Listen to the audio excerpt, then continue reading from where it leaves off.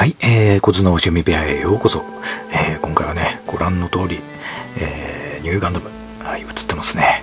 はい、こちら RG のね、えー、ニューガンダム、えー、こちら随分前にね、購入したっていうのをね、あの動画で、えー、お撮りしましたが、今になってようやく完成しました。はい。いや、別にサボってたわけではないんですが、まあ、ちょっとね、まあ、はい。では、お見せ。一応ね、塗装、全塗装しまして、はい。で、デカールも貼って、はい。これでいいかなっていう感じで、えー仕上がったのをお見せしたいと思います。こちら。ちゃんとね、はい。えー、こちら、やっとね、えー出来上がりまして、まあ塗装もね、えー、一応まあ普通の、えー、カラーリングよりね暗くしてあるんですよね、うん。まあえー、ここの黒の部分は、えー、艶消しブラックで、えー、ちょっと濃い、えー、ホワイトが、えー、ダークグレーくらいのやつででちょっとグレーっぽいのを、えー、ちょっとライトグレーっぽいの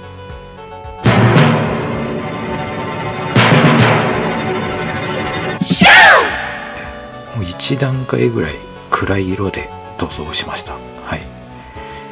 まあ赤赤の赤色はね普通の赤色ですね。はい。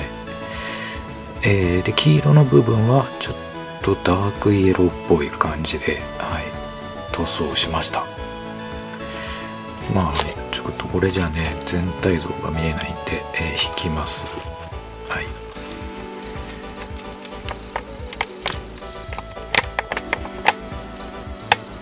こんな感じでね。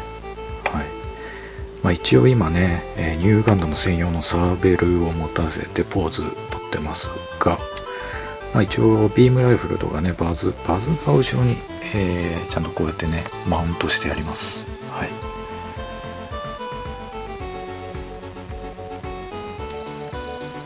まあ一応部分塗装もしてあるんですよね。こういうちょっとねうんこの関節部のね、えーパーツとかは部分塗装してますね。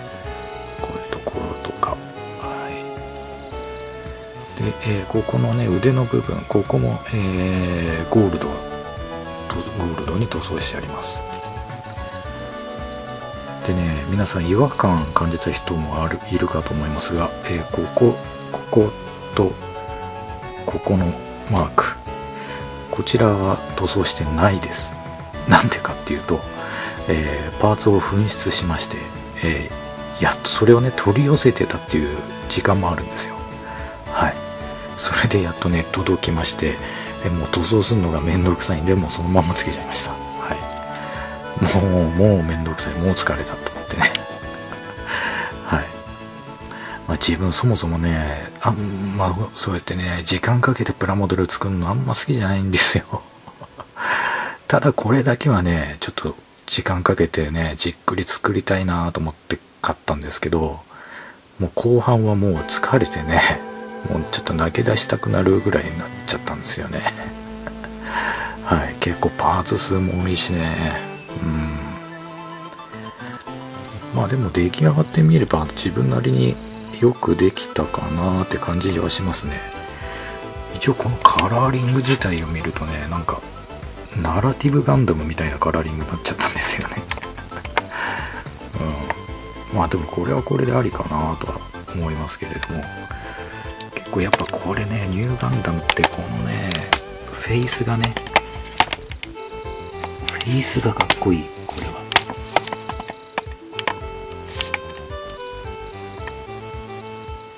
うん。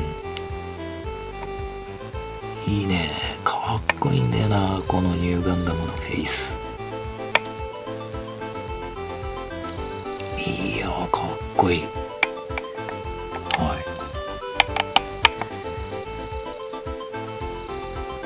い。でまあファンネルもつけまして。うん。まあ自分はねもう満足です。はい。えー、自分ができるのはこんなもんですよ。はい。いやーほんとやっと完成でした。いや疲れましたね。えー、ということでねえー、ちょっとやっと完成したというご報告の動画として撮らせていただきました。はい。えー、一応ねまあ後ろの部分とかね、えー、見えないですよねこのこれだとね。一応回転台座に乗せてね、えー、一通り、えー、お見せしてお別れしたいと思います。はい。ではねそちらの方をご覧ください。